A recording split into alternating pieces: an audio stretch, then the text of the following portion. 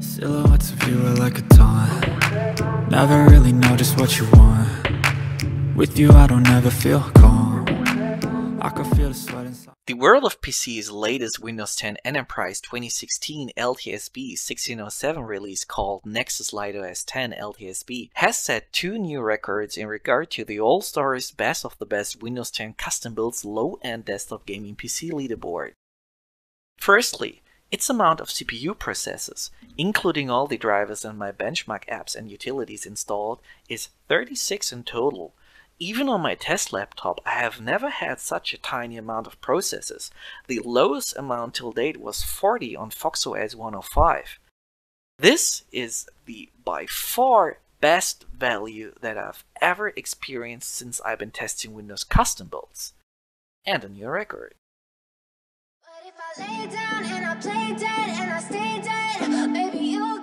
Secondly, its RAM usage is 974 megabytes at idle. And this is another record.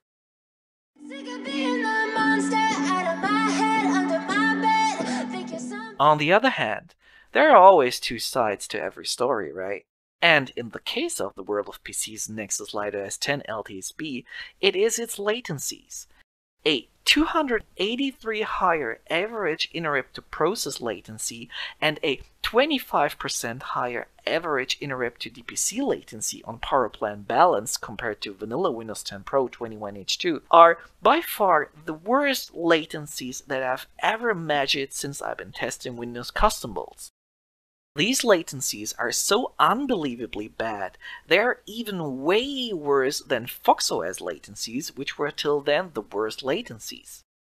However, the good news is that it is possible on Nexus OS 10 LTSB to counteract against these bad latencies by switching to the integrated Nexus OS power plan.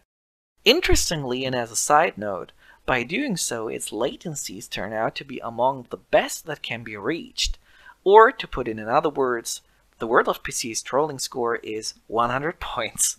Alright then, my subscribers. It's getting sunny and hot outside, hence grab your favorite cold beverage and let's get started.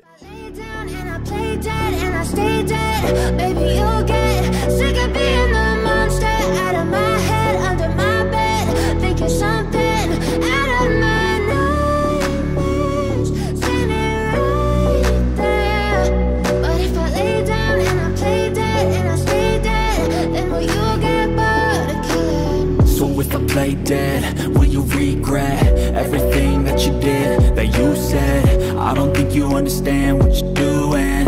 And my heart's black and blue from the bruising.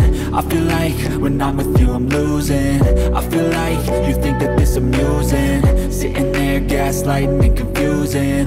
Was it me, is it me, am I deluded? I'm the one who's always sorry, the conclusion. Even though I offer all of the solutions. I wish you loved me like I love you, it's stupid. When I'm alone with you, I never feel lucid. I wish I wasn't struck by Cupid. I wish when I first saw you, I knew this. When I'm with you, I feel so useless. I feel diluted, my heart's been wounded.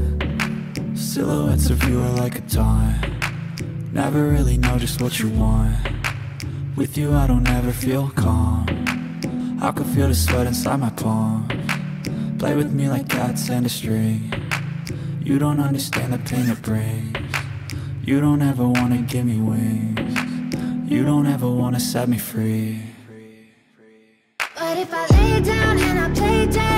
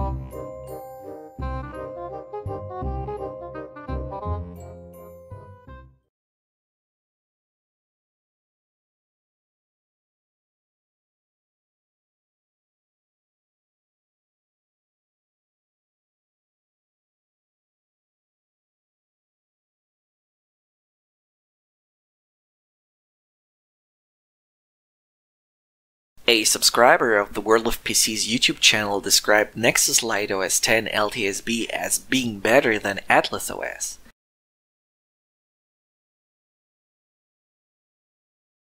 Well, the facts and figures that we've just seen are more than clear. In terms of general total outperformance, the user's impression was right. Nexus LiteOS 10 LTSB clearly outperforms Atlas OS 1803 by 1.31%, which is a massive value. Especially when considering the fact that Atlas OS 1803 is currently on the third position on the All-Stars low-end desktop gaming PC leaderboard that features only the best of the best Windows 10 custom builds a little leak, so to say, at this point only for my subscribers. Since I have informed the world of PC about his very good results with Nexus LiteOS 10 LTSB, and thus finally having found a worthy opponent in regard to RecOS, it seems like he might thinking about creating a Windows 10 1709 based custom build. And will it eventually beat RecOS, the reigning king made by Recnautic, in terms of general outperformance? Well, who knows? We will see. Yes, I definitely recommend Nexus LiteOS 10 LTSB to all my subscribers who are equipped with older respectively legacy hardware and who want to use a fast and nicely made Windows 10 custom build based on Windows 10 Enterprise 2016 LTSB 1607 and especially my subscribers who are equipped with legacy hardware and necessarily need to run a Windows 10 based system, for example because of certain software that cannot be run on any other operating system, should definitely take a look at Nexus LiteOS 10 LTSB because Though RecOS 0.4 is still the king in terms of performance, Nexus LiteOS 10 LTSB comes noticeably with fewer bugs, fewer errors, and fewer crashes. This being said, all my subscribers equipped with weak hardware, but who want to run the latest software and who don't necessarily need a Windows-based platform should also consider installing respectively using a lightweight new Linux distro. I personally recommend Lubuntu, LXLE, Xubuntu, Peppermint OS, or partially even Puppy Linux as possible new Linux-based operating systems when it comes to legacy hardware. And what do my subscribers think about Nexus LiteOS 10 LTSB? As always on my channel, feel free to share your experiences by leaving comments. Silhouettes of you are like a taunt. Never really know just what you want. With you I don't ever feel calm. I can feel the sweat inside my palms. Play with me like cats and a string